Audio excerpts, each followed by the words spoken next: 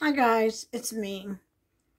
I just found something on the internet that doesn't make me feel so bad for talking shit about Shani and Rev. A piece of shit couple, if I ever met them. But I never met them, but online. Um, I'll do it real fast. Um, I think it's called, I think she's Introvert Queen. I'm going to thank you for this video. I only have, I have less than 200 subscribers, so I won't be making any money off of you. But I did want to share this video because I want the people to know that we're all not picking on some innocent, heavyset woman with a, a mental disorder. Uh, she's a piece of shit, period. So I'm going to play this and, you know, I'm going to sum up real fast. She told people when they left, or Rev told them, you can go in the house, take whatever you want. There's a lot of things that are worth money. Just don't get caught by the police. And then watch. Immediately turned on her camera and started live streaming. All right. And then she said this. Let me play the clip.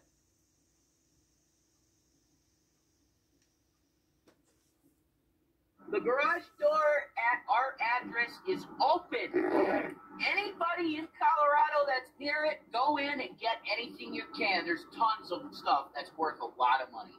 Go in and get it. Have fun. Have fun. Try to avoid the popo. Avoid the popo.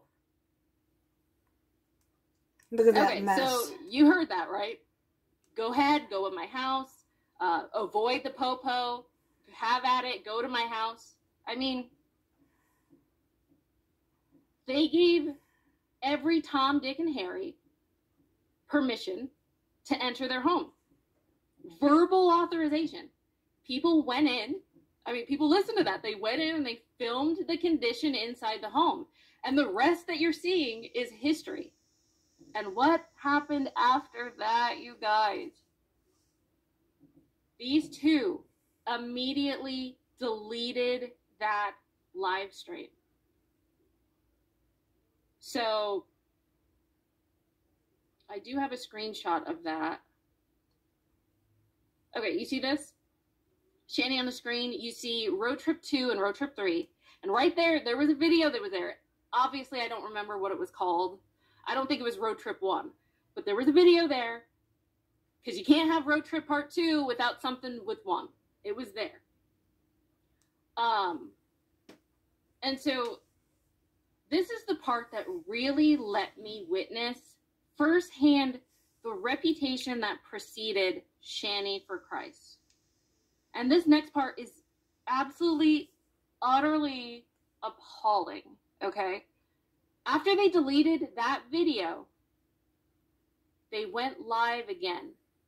The video where they're giving off uh, verbal authorization to enter the home, they delete it and they completely lied about what happened.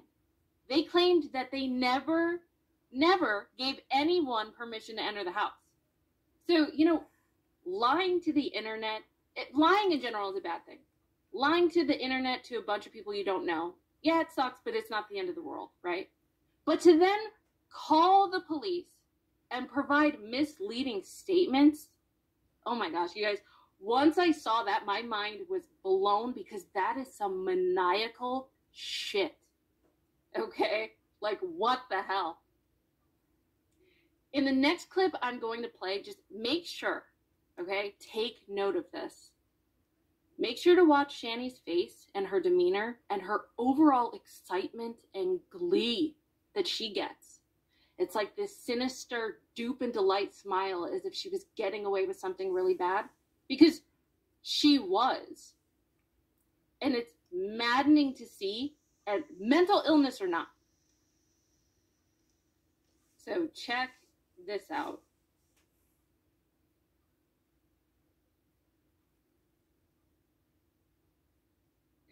Ah, man. He's in legal problems now. All of them are in legal problems. Ah, ha, ha, ha. Sickening. La di da, la di da, la di da, la di da. Look at the joy she gets on this. Ah. does that? Ooh, pretty dumb. Getting into someone's place, huh? Breaking into someone's place. Yeah, they're probably going to get it. Yep, they're in big trouble with the police right now. They're huge problems with the police right now. Whatever. So enjoy that. Enjoy getting in trouble with the law. I hope it was worth it.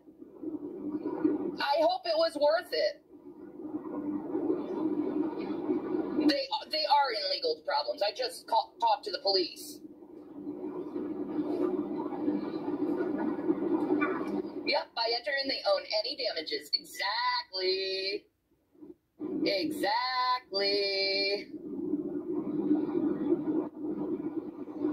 Yep. The cops are going in it right now, and they took all the information on Drag too. He's in so much trouble. You guys are in so much trouble, dude.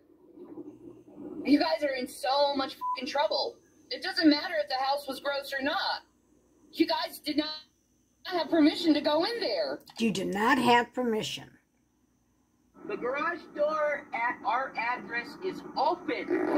Anybody in Colorado that's near it, go in and get anything you can. There's tons of stuff that's worth a lot of money. Go in and get it.